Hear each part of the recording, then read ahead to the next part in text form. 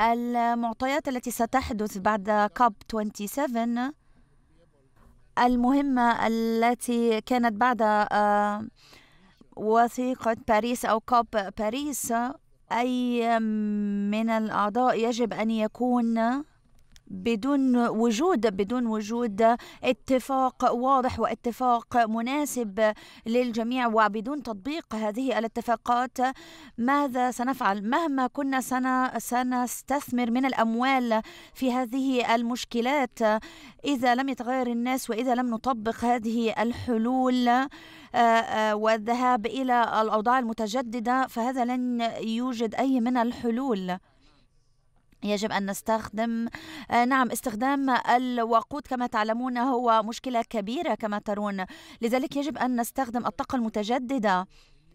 فالناس أيضا سيستثمرون الكثير ويوجد سنستخدم التكيف والتخفيف في بلدانهم وخصيصا في البلاد القوية. كما تعلم أن مدغشقر هي جزيرة كبيرة في المحيط الهندي.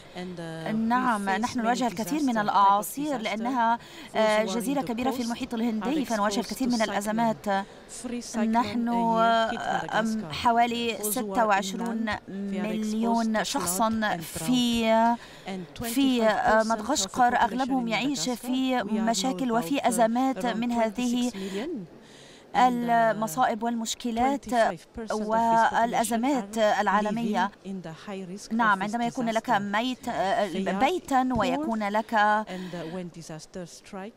ويكون لك أصول ويكون لك أولاد.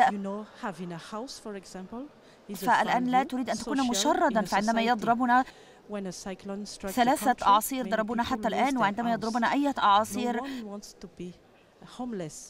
فأنت تعرف أن بيوتنا تدمر وأولادنا يشردون. ويموت العديد من الناس. فهذه هي المشكلة. الناس الفقراء في مدغشقر أيضا يتأثرون كثيرا. إنه تحد خطير لأن في بلدي نعتمد على النفط وهو مصدر دخلنا ولكن نحن بحاجة إلى تنويع مصادر اقتصادنا لأننا دولة جزرية صغيرة ونعتمد على التنوع الحيوي البحري وهو أمر مهم لبقائنا على قيد الحياة. عندما ينفد من لدينا النفط فإننا بحاجة للاعتماد على السياحة وإذا وقعت السياحة ضحية للتغيرات المناخية فلن يكون لدينا أمل في تنويع مصادر الاقتصاد في المستقبل. لقد تأثرنا بشكل كبير بالتغيرات المناخية ويوجد خسائر سنوية تتعدى 300 مليون دولار بالإضافة إلى ارتفاع مستوى مياه سطح سطح مياه البحر والحموضة كل ذلك قد يؤثر بشكل كبير على بلدنا وهو أمر مهم لبقائنا على قيد الحياة. Well, you know, it's it's very important. For, for instance, the relationship between الشراكة بين مصر والاتحاد الأوروبي سيحددها الطاقة والتحول. نحو الطاقة المتجددة. تتمتع مصر بقدرات لا نهائية في طاقة الرياح وطاقة الشمس وتستثمر مصر فيها. تحتاج أوروبا إلى مزيد من الكهرباء وتحتاج إلى الهيدروجين الأخضر في المستقبل. هذه شراكة مقدرة. ستمثل أمرا مفيدا وم... ويحقق أرباح وسيفيد مصر, مصر ويحقق تنمية في مصر. إنه موقف يربح فيه الجميع من الجانبين.